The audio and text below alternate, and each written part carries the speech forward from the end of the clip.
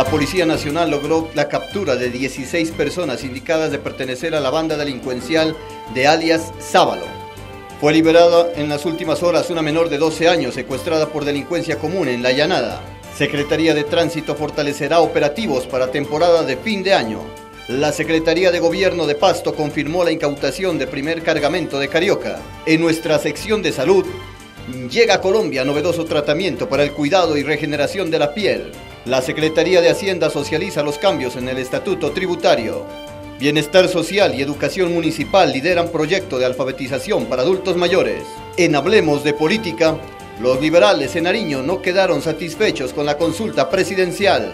El exgerente del plan Todos Somos Pacífico habló con CNC Noticias. En Ipiales, esta semana está programado un encuentro de hip hop.